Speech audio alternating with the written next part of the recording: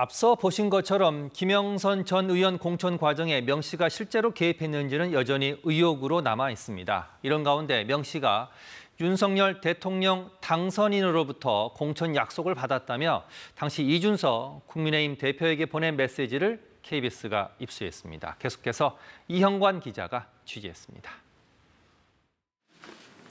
민주당이 공개한 윤석열 당선인과 명태균 씨의 대화. 대통령 취임식 전날입니다.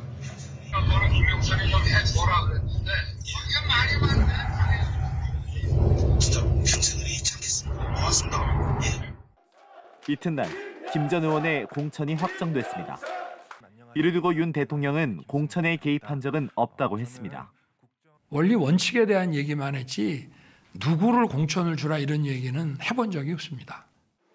검찰은 최근 명 씨가 쓰던 컴퓨터 포렌식을 통해 카카오톡 메시지 여러 건을 확보했습니다.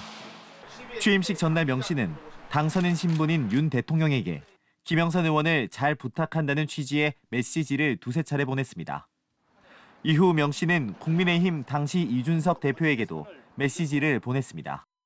윤 대통령에게 전화가 왔다며 공천관리위원장이던 윤상현 의원에게 전화해 김영선으로 전략 공천 주라고 하겠다는 내용입니다.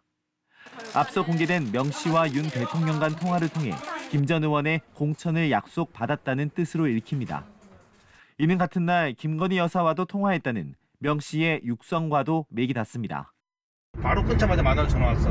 선생님, 어? 윤상현이한테 전화했습니다. 보안 유지하시고 내일 취임식 오십시오.